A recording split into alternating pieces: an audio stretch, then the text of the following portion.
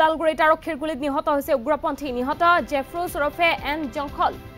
Udalguri N L F বিৰ জিলা commander আছিল জেফ্ৰুজ। মাজবাট আৰক্ষীয়ে ডিমাচাঙত চলাইছিল এই অভিযান। অভিযানত জব্দ কৰা হৈছে এটা পিষ্টল। মাজবাটৰ ডিমাচাঙৰ টিলা এটাত আছিল অস্থায়ী শিবিৰটো। নিশা শিবিৰটোত আছিল চাৰিৰ পৰা পাঁচজনীয়া এটা দল। ঘটনাস্থলীৰ পৰা পলায়ন কৰে বাকী সদস্যকেইটাই। পুনৰবাৰ জনাইছো ওদালগুৰিত আৰক্ষীৰ গুলীত নিহত হৈছে উগ্ৰপন্থী। ওদালগুৰিত আৰক্ষীৰ গুলীত নিহত হৈছে উগ্ৰপন্থী। এই মুহূৰ্তৰ গুৰুত্বপূৰ্ণ খবৰ নিহত জেফ্ৰুজ ওৰফে এন জংখল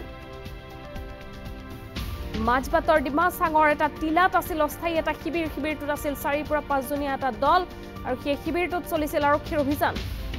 নিহত হৈছে উগ্ৰপন্থী নিহত জেফ্ৰুজ ওৰফে এন জংখল ওদালগুৰি এন এল এফ বিৰ জিলা কমাণ্ডাৰ আছিল জেফ্ৰুজ অভিযান চলাইছিল আৰক্ষীয়ে। মাজবাট আৰক্ষীয়ে ডিমাচাঙত চলাইছিল অভিযান। জব্দ কৰা হৈছে এটা pistol.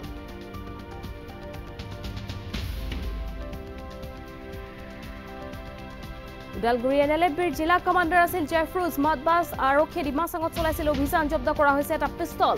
মাজবাটৰ ডিমাচাঙৰ এটা টিলাত অস্থায়ী শিবিৰ এটা আছিল। সেই শিবিৰটোত নিশা আছিল চাৰিৰ পৰা পাঁচজনীয়া দল। আৰু আৰক্ষীয়ে অভিযান চলোৱাৰ পিছতে ঘটনাস্থলীৰ পৰা পলায়ন কৰিছে বাকী সদস্যকেইটাই। ওদালগুৰিত আৰক্ষীৰ অভিযান। এটা উগ্ৰপন্থী নিহত হৈছে এন এল এফ বিৰ সদস্য কেইগৰাকী মানে শিবিৰ বান্ধি তাত আশ্ৰয় লৈ আছিল এটা টিলাত আছিল আশ্ৰয় শিবিৰটো আৰু তাতেই আৰক্ষীয়ে চলাইছিল অভিযান। অভিযানত এটা সদস্য নিহত হৈছে। এই মুহূৰ্তত আমি সংযুক্ত হৈছো আমাৰ সাংবাদিকগৰাকীৰ সৈতে। ধনদীপ বৰা আমাৰ সৈতে সংযুক্ত হৈছে। ফোনযোগে ধনদীপ আপোনাৰ পৰা জানিব বিচাৰিছো কিমান দিনৰ পৰা সেই স্থানত শিবিৰটো আছিল কেনেদৰে আৰক্ষীয়ে অভিযান চলাইছিল আৰু বাকী সদস্য কেইটাৰ সন্ধান পোৱা গৈছে নেকি? হয় হিমাশ্ৰী কালি আচলতে আজি পুৱতি নিশা বুলি ক'ব লাগিব। দুটাৰ পৰা তিনি বজাৰ ভিতৰত ওদালগুৰিৰ আৰক্ষীয়ে ওদালগুৰিৰ আৰক্ষী অধীক্ষক অতিৰিক্ত আৰক্ষী অধীক্ষকে ধৰি এটা বিশজনীয়া দলে অভিযান চলাইছিল।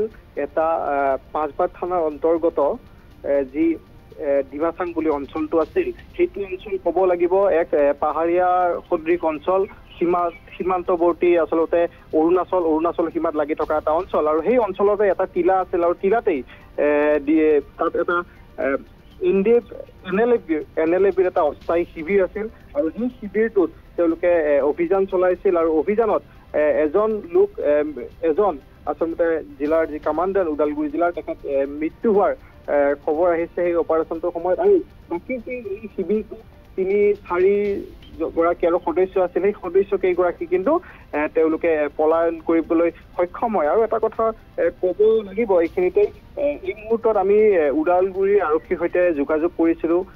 কিন্তু আমাক এই মুহূৰ্তলৈ সবিশেষ তথ্য কিন্তু আমাৰ আগত আৰক্ষীয়ে অৱগত কৰা নাই। হয়তো তেওঁলোকে তদন্তৰ খাতিৰত এই তথ্যসমূহ হয়তো এতিয়াই আনুষ্ঠানিকভাৱে ঘোষণা নকৰে বা হয়তো হয়তো আৰক্ষী আৰক্ষী উচ্চপদস্থ বিষয়াই হয়তো এ, গুৱাহাটীত হওক বা কোকৰাঝাৰত কোকৰাঝাৰত এই সবিশেষ কিন্তু তেওঁলোকে হয়তো বৰ্ণনা দিব পাৰে। কিন্তু বৰ্তমান ওদালগুৰি আৰক্ষীয়ে এই সন্দৰ্ভত সংবাদ মাধ্যমক আনুষ্ঠানিকভাৱে একো।